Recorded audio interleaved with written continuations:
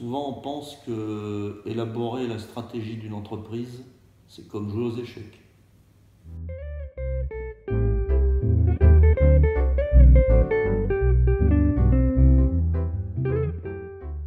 Une version plus élaborée de la stratégie, c'est de réunir en conclave de jeunes analystes brillants et de sortir des plans stratégiques.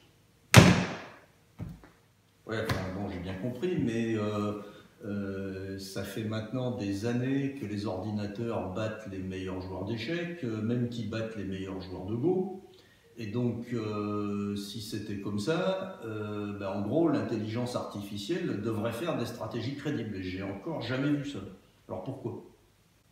Ben, Tu as raison. Un jeu d'échecs ou un jeu de Go, c'est un terrain de jeu qui est complexe, certes, mais qui obéit à des règles très précises et qui ne bougent pas. Or, l'environnement actuel des entreprises, c'est un environnement qui change sans arrêt et qui est totalement incertain, imprévisible. Donc, ce qui est le plus important, c'est pas de bâtir des choses très intelligentes sur des bases qui sont vraies juste à un seul moment donné.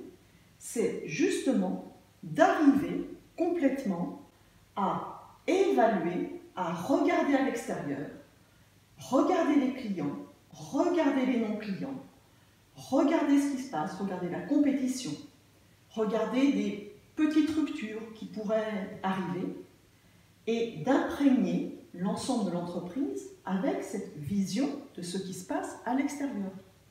Ok, donc tu viens d'expliquer que les échecs, c'est un univers fermé alors que les entreprises agissent dans un univers ouvert et que pour être efficace dans un univers ouvert, il faut essayer de regarder correctement dans toutes les directions.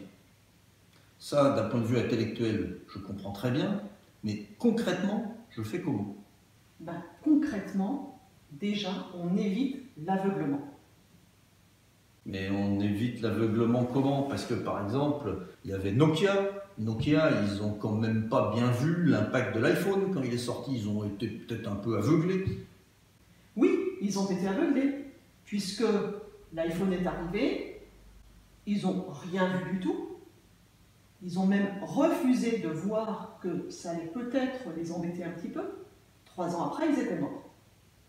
Donc moi, ce que je propose concrètement, c'est que vous regardiez, vous écoutiez, et plutôt que d'élaborer un grand plan stratégique, vous élaboriez plusieurs scénarios très concrets.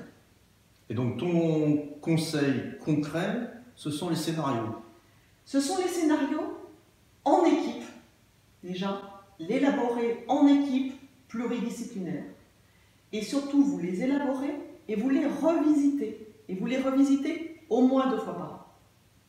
Donc si je comprends bien ce que tu proposes, c'est de travailler en équipe, de bien regarder avec toute la diversité de l'équipe tout ce qui se passe à l'extérieur de l'entreprise, d'en déduire des scénarios et de les revisiter très souvent. Est-ce que c'est bien ça?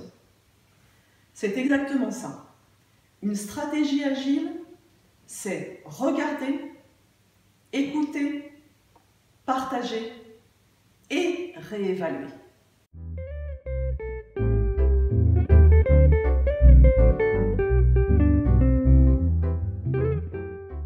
Merci d'avoir suivi cette vidéo. N'oubliez pas de la cliquer et de la liker sur les réseaux sociaux. Et puis, n'oubliez pas, il y a de l'agilité dans l'innovation.